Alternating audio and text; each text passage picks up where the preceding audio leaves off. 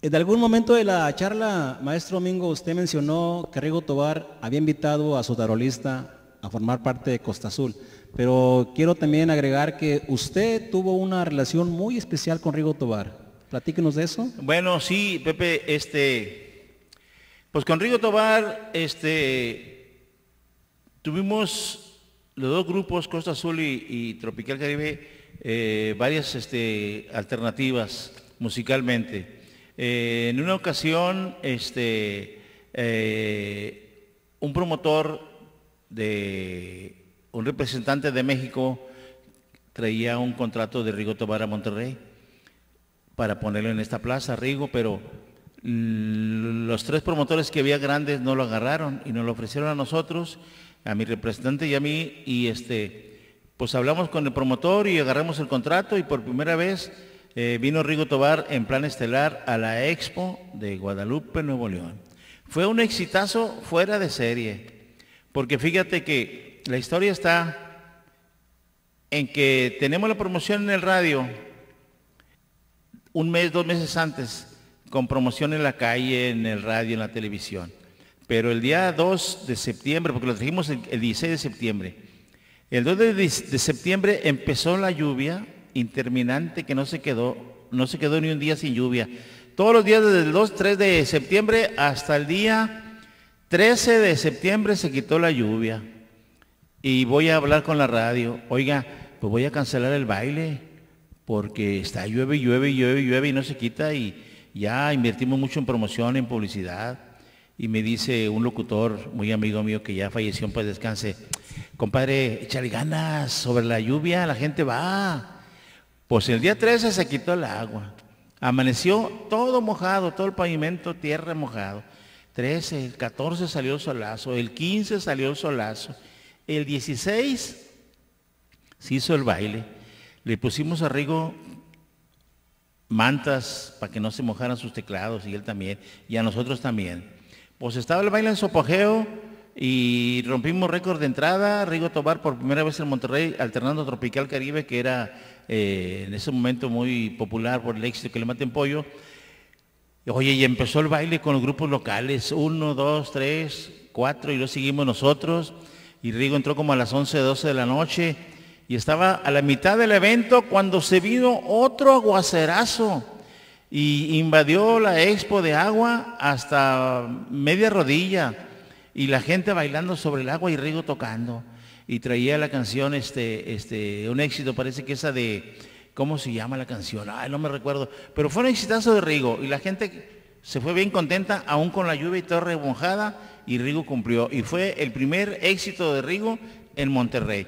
Posteriormente, este, ya vino en más ocasiones, pero con otros representantes, pero siempre fue Rigo un exitazo en Monterrey.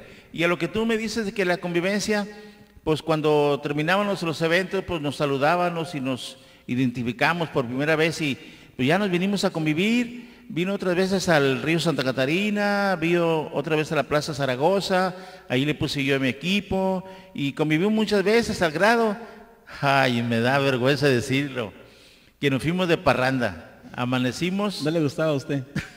no me gustaba, era mi debilidad la parranda. Entonces, este, estuvimos, este, eh, Rigo con sus tres muchachos y yo con otros tres, mi representante, mi compañero hermano, amanecimos de parranda, nos fuimos de farra. Y posteriormente ya siguió la amistad, la amistad, la amistad, y a varios años después, ya trabajando él muy fuerte en México, este, me habla un principio de semana, compadre Mingo, ¿cómo estás? No, pues bien, Rigo, ¿qué onda? ¿Qué vas a hacer este fin de semana? Le dije, fíjate que mala suerte, se me cayó la chamba, no tengo jale. Pues vente a México, voy a tocar en, Juárez, este, en Naucalpan, estado de Juárez. Este, te voy a mandar los boletos. Ándale, ok, está bien. En aquel tiempo existía el tren regiomontano. No, pues nos fuimos en, el, Pullman, el tren regiomontano. Eh, era de gala el tren regiomontano. No, pues fuimos un hermano mío, mi compadre, el representante y yo.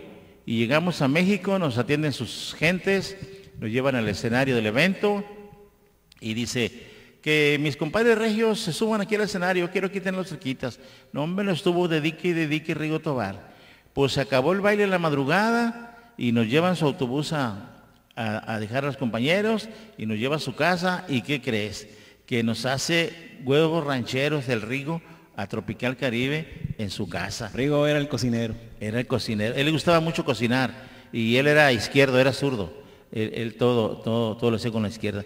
Y nos atendió muy bien y tuvimos mucha convivencia, bastante con Rigo Tobar y con sus amigos, con todos sus compañeros del grupo, inclusive con sus hermanos también de Matamoros, todos, todos, todos. Pero sí hubo mucha convivencia personal entre Rigo y un servidor, al grado de que no fuimos compadres oficialmente, pero nos decíamos compadres. Compadre Rigo, compadre Mingo. Y así, así fue como la convivimos eh, Rigo Tobar y un servidor. ¿Cómo ves tú, Pepe?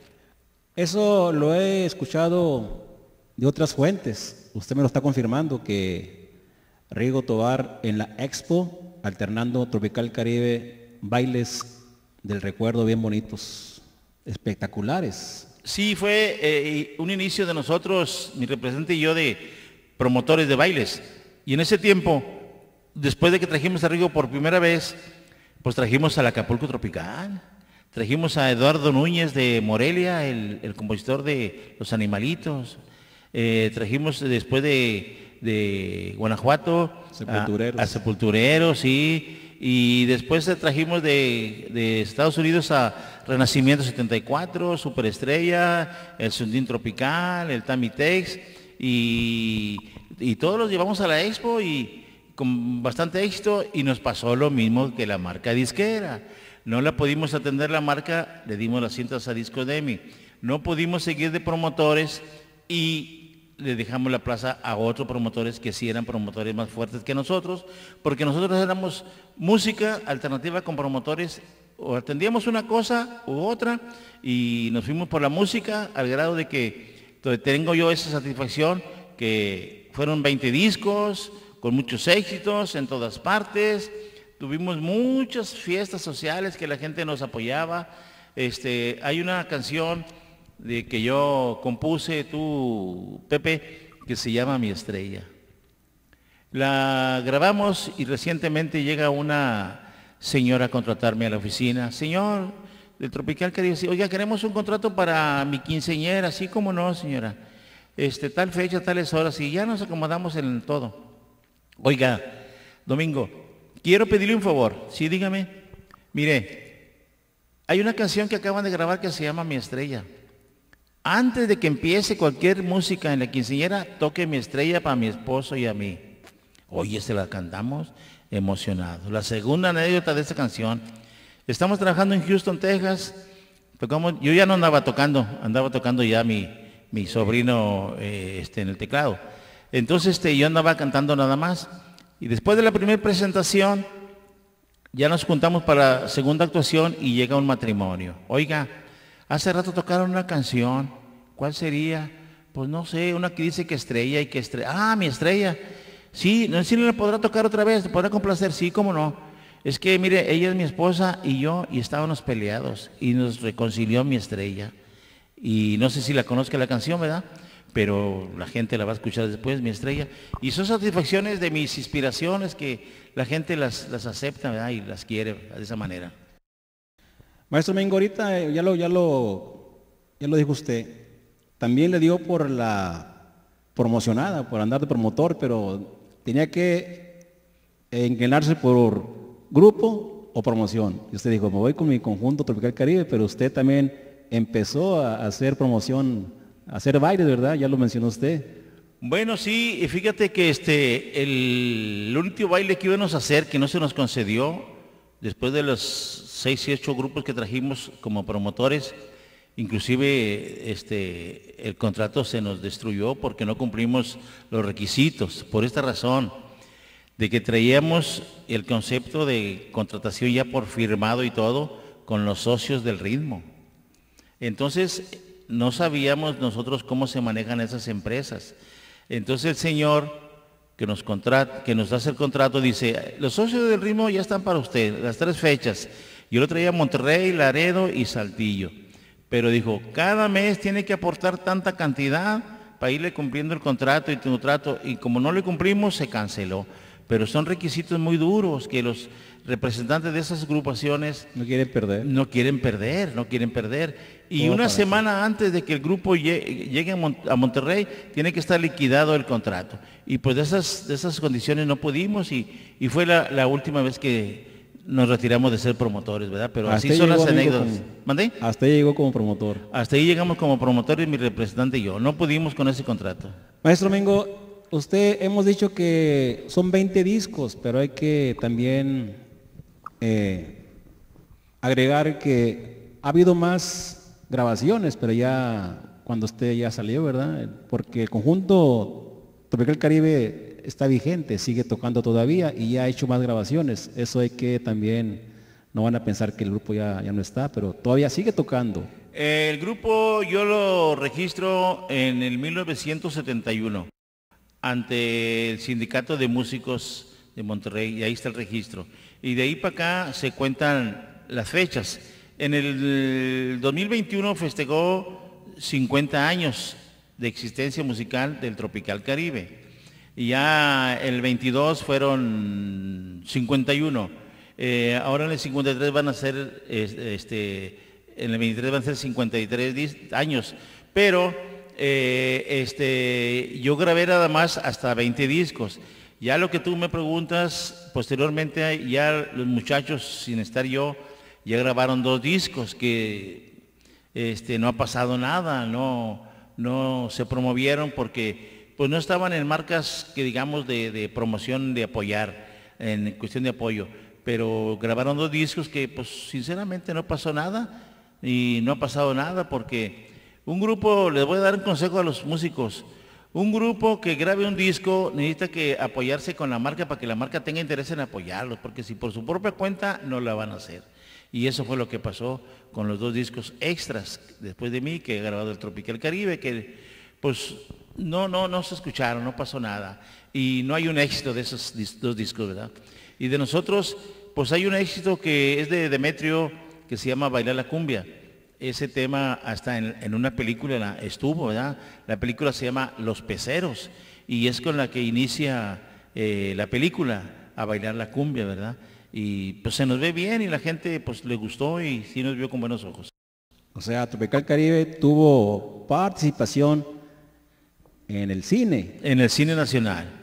Los artistas eran eh, eh, este, Tito Junco, Rosenda Bernal, mm, este Mariscal, este, el Flaco Guzmán, este, ¿cómo se llama este otro muchacho? Este, ah, pues don Rómulo Lozano y su equipo, Cascarita y todos ellos, pero fue una este, experiencia muy bonita este, trabajar en el cine nacional con todos esos artistas, con el éxito, a bailar la cumbia. Maestro Mingo, usted menciona que, que no pasa nada con una grabación porque falta apoyo de una marca, compañía, pero usted también lo experimentó, lo llegó a sufrir porque casi casi estuvo a punto el conjunto de retirarse cuando ya estaba en decadencia, decadencia y que sale el sexo fuerte y otro segundo aire exitazo. Bueno, mira, eso tiene razón, mira. Cuando que le maten pollo en discos de LB fue un furor. Y no nomás ese disco, los siete que grabamos ahí estuvieron muy fuertes. En ese, en ese trayecto de, de- de- de grabación con DLB nos buscaron las marcas disqueras de México, nos querían firmar. RCA Victor, Pirles, Melody, Capitol y todas esas marcas disqueras. Pero no podíamos irnos porque teníamos contrato en DLB. Cuando se termina DLB, nos dice el señor que se, llama, se llamaba don Basilio Villarreal, muchachos, hasta aquí llegamos, aquí está su carta de retiro, este, acomódese donde ustedes quieran. Pero ¿qué sucede? De que ya era demasiado tarde, porque las marcas disqueras, pues ya pasó el éxito, ya no me interesa, no quiero el grupo, pero sí se interesó RCA Víctor y ahí hicimos este, otros siete discos, pero no nos apoyó como tú piensas, como dices, tienes razón. Entonces, por más que hicimos este esfuerzo de que nos apoyara un éxito, pues salieron nomás dos, tres, pero... Y luego hacía malas mezclas, ¿no? Y, y sí, este, entonces, este, pues no tenía interés un, un promotor capitalino a un grupo del norte, porque no estás allá, ¿verdad? Entonces, si estuviéramos allá, pues a lo mejor nos hubiera apoyado más, y estuviéramos nosotros exigiéndole más. Pero sí hicimos mucho, muy buenas grabaciones, mucho, muy buenas grabaciones. Entre ellas la primera que grabamos se llama Noemi. Cada vez que estoy pensando, yo pienso en ti. RCA. Eh, RCA Víctor. Y de ahí para allá fueron siete discos y grabamos muchas canciones, pero no hubo el apoyo de difusión.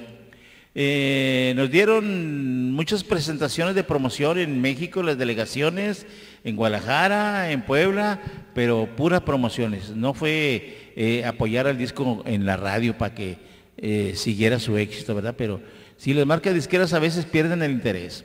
Cuando ya está, ya pasamos por varias marcas de este, discos, este MCM era una marca nueva, principiante, que tenía ganas de un éxito. Y ahí es donde nos agarra. Oye, pues trate al Tropical Caribe y que le damos con el sexo fuerte. Y pues nos volvimos a revivir, como tú dices, ¿verdad? Pero sí, siempre nos mantuvimos al nivel del margen de la radio, de la televisión, de los periódicos, revistas musicales y de la gente. La gente nunca nos dejó caer. Nos, caímos en promoción radial. Pero la gente nunca, nunca, nunca, nunca, porque donde quiera que íbamos, éxito. Todas partes de México Estados Unidos, éxitas. Maestro Mingo, ahorita ya lo mencionó, pero vamos a hablar acerca más sobre el tema. Su faceta como compositor. Usted vocalista, tecladista, promotor y luego también compositor. Hay un, hay un tema que usted lo mencionó, ya hay como 15 o 20 versiones de otros grupos que le han grabado con banda, con norteño, grupero, de muchos estilos, géneros. Doña Juana, exitazo, composición de usted. Y por ahí eh, se lo quieren atribuir a otros, a otro compositor. No, no mencionan el nombre del maestro Domingo, no le dan el crédito que, que debe de dársele en la, en la interpretación, en cada versión. Pero aquí tenemos, amigos, al original compositor del tema Doña Juana, la que vive en esquina. ¿Cómo nació el tema ese, maestro? ¿Cómo, cómo se le ocurrió la idea? Bueno, este, es una cosa también media chusca porque eh, yo comienzo con la música y compuse mi primer canción, se llama Te fuiste de mí, y luego compongo Ilusión Sincera, la segunda, la tercera, El Lechugón, la cuarta, este, este, Solo te recuerdo, y la quinta, Doña Juana. Resulta que a dos, tres cuadras vivía una señora que se llamaba Doña Juana, es verídico doña Juana Cifuentes. Y siempre bajaba, y siempre bajaba eh, con una pata aliada, como que no sé qué problema traía en su pierna. Y ahí yo la vi y dije, doña Juana, la que trae la pata de palo. Y ahí empecé, doña Juana, la que vive ahí en la esquina, tiene una pata de palo, mírenla cómo camina. Y se me prendió la idea. Y, pero lo que yo tengo de satisfacción, no sé, ¿Por qué la gente musical de otros grupos me la han grabado? ¿Qué tiene esa canción? Hay muchas versiones. Sí, y también hay, otras dos canciones, por ejemplo, este, eh, una que se llama Si me quieres, ¿por qué te vas? Me la han grabado en Estados Unidos varios grupos.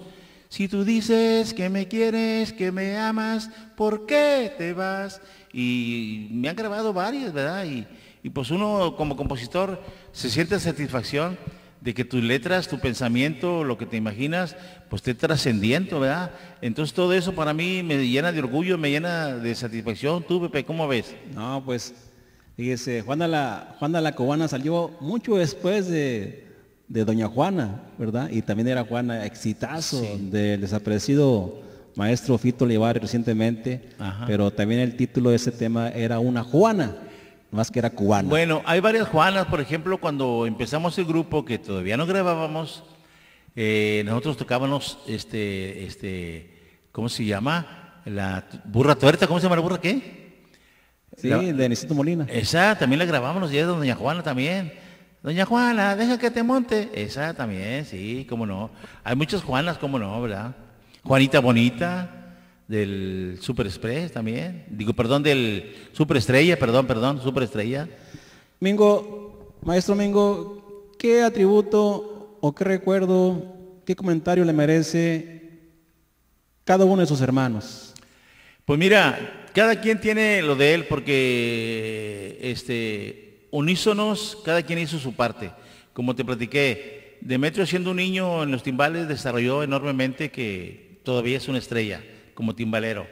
Eh, Luis, el vocalista, pues tenía su sello muy ranchero, pero fue aprendiendo, fue aprendiendo y, y, lo de él, aparte de su voz, voz firme de trueno, brillante, eh, su look, su look, el pelo, que mucha gente ya nos identificaba a Tropical Caribe como, como, el logotipo de Tropical Caribe era el chino, el chino Luis, ¿verdad?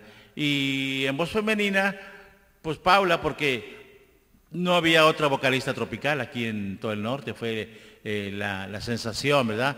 Y, en la guitarra, este, Agustín, pues también sin estudiar, porque nadie estudiamos con algún maestro, todo fue, como dice, lírico o empírico, fue desarrollando al grado de que su música en la guitarra está, es magistral dentro de Tropical Caribe. Y en muchas grabaciones del grupo de Tropical Caribe lleva más guitarra que teclado, más guitarra y, y eso es un, este, texto que se llama Magistral Guitarrista de Tropical Caribe. Y cada uno de ellos pues tiene su, su, ego, ¿verdad? Este, eso que me preguntas, pues así fue como yo, yo, yo este, declaro que son los integrantes de Tropical Caribe, de Caribe, de la familia, ¿verdad? Ya la percusión pues es secundaria, ¿verdad? Pero la melodía, la armonía y las voces y la imagen, pues ahí está, Tropical Caribe para siempre. Maestro, ¿usted reconoce que en la agrupación había un líder musical artísticamente o eran todos o quién decía esta nota sí, esta no? Bueno, modestia aparte. Al principio, como yo fui el iniciador, yo traía la idea y la imagen y las ilusiones y ambiciones de todo. Y yo era el que manejaba los arreglos y, y musicales. Ya posteriormente, como te digo, fue desarrollando Agustín más y más y más hasta que llegó el momento el grado que yo le dije, ¿sabes qué? Tú encárgate de los arreglos musicales, ¿verdad? Porque yo ya me ocupé en otras cosas, representante, oficina y promotor y toda la cosa del grupo, en, muchas cosas, y él se dedicó más a los arreglos musicales, pero a la mitad de las grabaciones para adelante. Las primeras todas fueron mías, mis arreglos, mis decisiones musicales, inclusive en las voces también, porque había temas, por ejemplo, que en la voz mía no me quedaba un tema, a ver tú Luis, pruébale, y le quedaba Luis, ¿verdad? O tú Agustín, pruébale, y le quedaba así. Pero nunca una canción se graba, este, digo, se canta nomás porque eres cantante, no, no, tienes que darle a cada quien su tema que le quede, que le quede en su voz y que se proyecte. Esa es la, razón tú, Pepe. Pero ¿qué ritmo hacía las tumbas, tarolas, guiros, cencerro? Bueno, eso es parte del estilo del tropical caribe, la percusión, ¿verdad? Este, yo te voy a comentar que cuando empecé el grupo, que yo fui el, fundador, sin exagerarte, diariamente ensayábamos o ensayamos diariamente durante un año. Por eso se perfeccionó el sentido musical, la precisión, el timbre, porque fuimos un año sin parar los ensayos. Todos trabajábamos, teníamos nuestros trabajos en varios lugares, pero a la hora de que llegábamos al barrio a ensayar, a ensayar, a ensayar. Y una canción la repetíamos diez veces, la misma canción, y otra vez, y me decían los compañeros, otra vez, ya aburre. Le dije, no, no, no, es que hay que hacer las cosas precisas, que queden bien. Y hay, hay muchos músicos, amigos nuestros, aquí en, mucho, en México, que, dicen, oye, pero ¿cómo tocaban? ¿Cómo qué precisión? Pero todo eso es, como dice el refrán, el, ¿a quién hace el maestro? La práctica. Entonces, así fue como nosotros pudimos sobresalir ensayando y ensayando y ensayando. Y fue la manera de que se quedó el sello del, Tropical Caribe, el éxito, el estilo. ¿Y cuatro cantantes? Cuatro cantantes que no tenía nadie, exactamente. Paulita, Ingo, Luis, Agustín. Y se conjugaban los duetos, ¿verdad?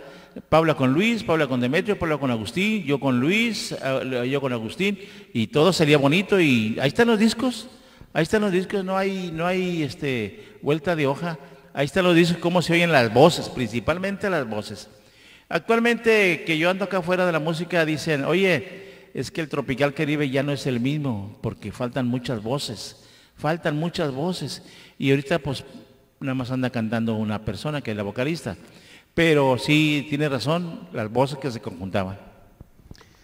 Maestro, pues hay muchas cosas que que platicar, muchas anécdotas, pero pues ya nos fuimos muy extensos. Quizás vamos a dejar para otra plática, otro encuentro.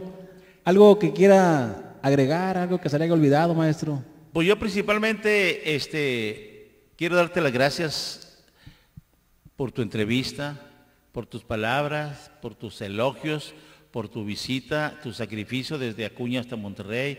Te agradezco mucho, principalmente. La segunda, a la gente que todavía no recuerda, porque ya son muchos años los que tiene el Tropical Caribe, ya la juventud pues ya no conoce mucho la música, pero la juventud capta nuestra música a través de sus familiares mayores, sus tíos, parientes, abuelitos y abuelitas, y, y como quiera escuchan la música del Tropical. Y otra de las más este, este, este, cosas que te quiero decir que, pues que no piensen que yo ya me morí, porque ya me he matado mucha gente. Dicen que Domingo ya se murió. Hace poquito subiste tú un texto ahí en el Face. Dice, eh, Domingo ya se murió, se murió Luis, se murió quién sabe quién. No, no, no, no. Decían que yo estaba muerto, pero todo eso es mentira.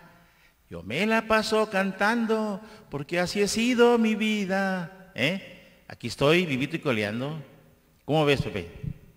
Bueno, pues agradezco, pues, vengan esos cinco, maestro. Ahí está, Pepe. Por la amistad, muchas gracias. Gracias. Y lo seguimos recordando, la gente lo sigue recordando a usted y la música del conjunto tropical Caribe. Eh, comento que hace como mes y medio, hace dos meses, yo transmití un programa especial un sábado y me sorprendió la respuesta. Hay mucha gente que lo recuerda y que piden sus canciones y que recuerdan a Luis, a Mingo, Agustín, a Paulita, a Juan, a todos los Loera, faltó A a. Luis, a Demetrio, a todos los Loera. Ahorita, actualmente, eh, pues están vigentes, repito, y los saludo a Huguito, Hugo, tecladista, eh, Octavio, bajista, eh, este se llama Luis Fausto, baterista, baterista José Santiago, en las tumbas Eulogio, en la guitarra Gavino y Demetrio y Paula. así es. Así es. Amigos, pues, muchas gracias. Gracias por su tiempo, por su atención. Su amigo Pepe, maestro Mingo Loera. Gracias a desde todos. Juárez, Nuevo León. Y siguen apoyando la música tropical que Caribe. alimenta el alma. Gracias.